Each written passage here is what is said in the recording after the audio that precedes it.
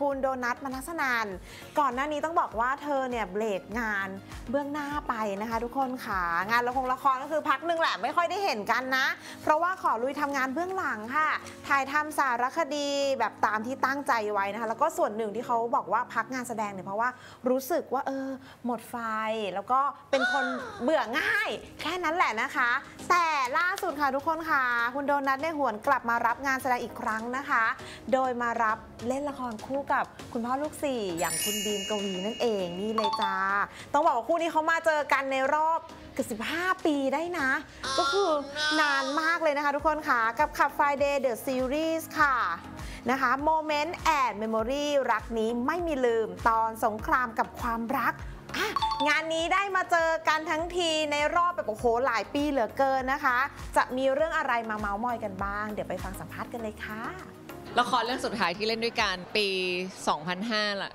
2005อันนี้ 2023 ใช่ 18 ปีที่ไม่ได้เล่นละครด้วยกันเลยอะค่ะ ก็จริงๆ มันก็เกือบเกือบหลายรอบอะไรเงี้ยแต่ว่าเวลามันแบบไม่ไม่ลงตัวค่ะ ก็เลยยังไม่ได้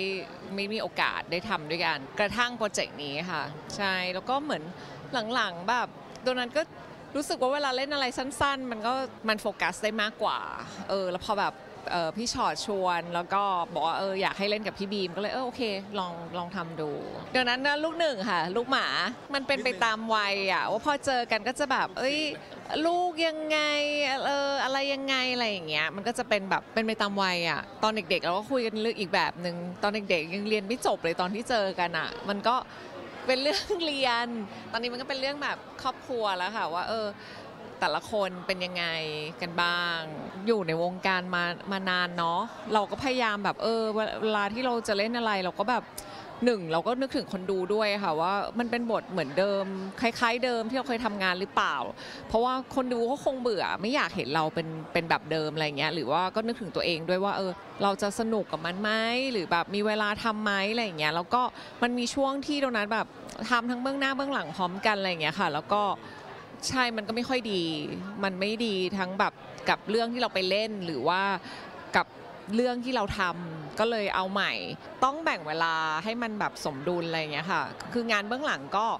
ตอนนี้ก็มีมีเตรียมเตรียมไว้อยู่ เรายังสนุกที่ได้ทำแล้วก็ได้เจอคนใหม่ๆอะไรอย่างเงี้ยค่ะ มีไฟเรื่องการแสดงกลับมาอีกครั้งหนึ่งว่าอุ๊ย มันสนุกจังเลยอะไรอย่างเงี้ยค่ะ แล้วก็พอ